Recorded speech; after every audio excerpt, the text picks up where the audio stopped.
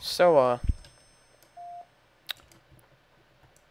I can assume You all done with the shitter? with the whole Gather around now. okay with the whole announcement of uh, the new Call of Duty Black Ops, I and just seeing all the quote unquote Y'all are gonna scout through. That's completely wrong right there.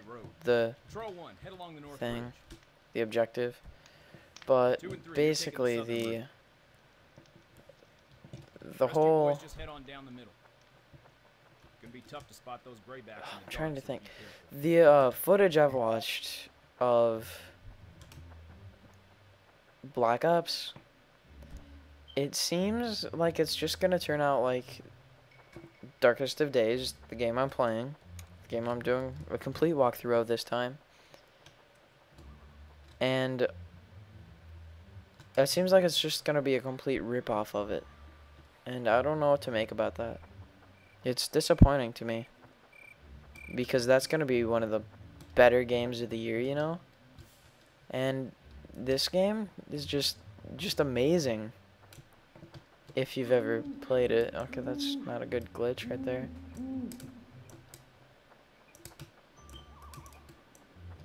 But this game, if you've ever played it, is really good. And when I say that, I mean it is one of the it was one of the better games of 2009. Okay, no more pistol.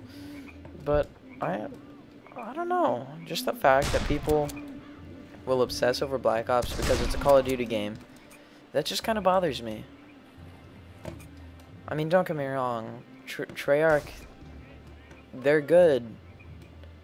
They're a good company, except that I've had some irritations of their Spider-Man games. But it, it's not just because it's made by a good company doesn't mean that it's gonna be a good game.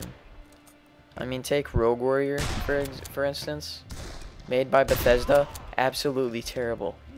No, I mean, I know it wasn't made by Bethesda, but it was at least produced by them. And it's just kind of disappointing to me that people think that a game made by a company like that can just be oh so unstoppable when it's really basically from what I know I'm not again I from what I see I don't I know this probably isn't right Get in the but trees. There's Rebs heading down the road. it definitely looks like to me that it's gonna be the same idea as this. Where did you guys come from? uh, but yeah, I that just kind of bothers me. It's always bothered me. Sure was. Look at all them ribs. But you know, that's just how it works. Um, what had happened if one of you idiots gave us away. Show your pie hole and we'll find out. That's funny. But I don't know.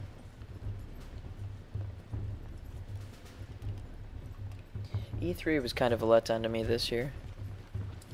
I mean, don't get me wrong, 3D stuff is cool and everything.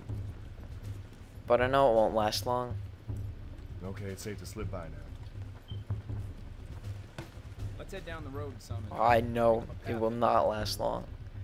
It's gonna be really kind of a crappy year for gaming. Careful now. If you ask me. signaling beacon up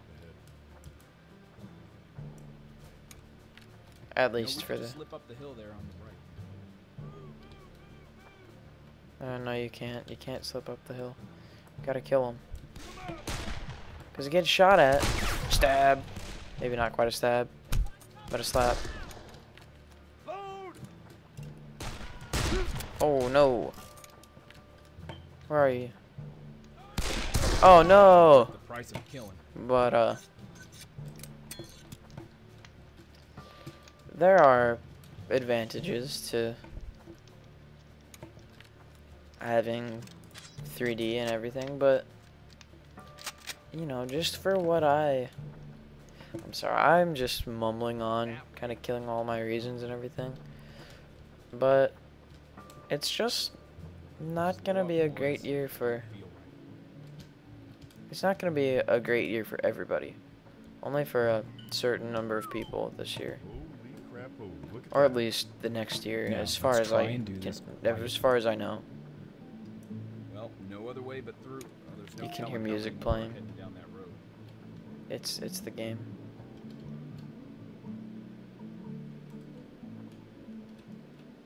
A guy playing his banjo. I hate this part. Um. So, I know I've recorded for more than 10 minutes, and I don't particularly care. I'll just cut it. Um. Trying to think of other things to talk about. The new Movie Maker, the Windows Live Movie Maker, is really nice. Oh no, we killed the banjo guy. I don't know what his issue is. Uh, but these these blue guys, you don't have to use the chasers. You can just shoot them in the legs. That's funny. All right, so you know, I'm just not a big fan of the of the whole. Oh, I keep saying that. No, I'm sorry. Uh, the new movie maker is like. Oh crap! The new movie maker is seemingly uh. You know, it's like the quality of Windows 7 almost. Looks to be the last of them. Uh, it's pretty shocking, cause it's it's really good. It's almost like Sony Vegas in a sense. I mean, it's nothing like it, no, but it it is it's nicer than normal Movie Maker, and doesn't get yelled at for its atrociousness. Um.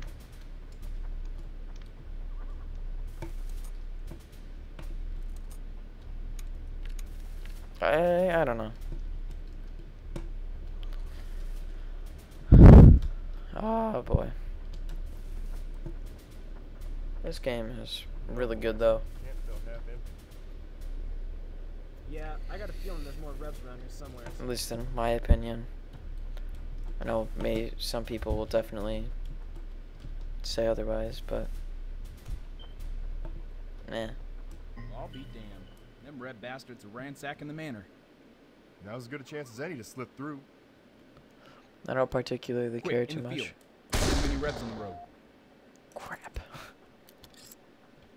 The road is not what I'd like to call it. If any of you morons get lost in the corn, They're in the follow corn! smoke. Huh. They know we're here. Quiet down, boys. Sweep them out, boys! Why don't they just light it on fire? Because they're losers. There's a bunch of Rebs up there. And they know. Best be careful sneaking up there. Oh, he's boys, not looks down. like more blood to spill. Looks like more blood to spill when they completely outnumber us. Heartbreak warfare. Song's been stuck in my head all day. I swear. It's been terrible. I mean, I love the song, but I cannot listen. Ah! This is gonna be my first death right here. Oh my gosh, I fail miserably. And I can't, I suck at this game.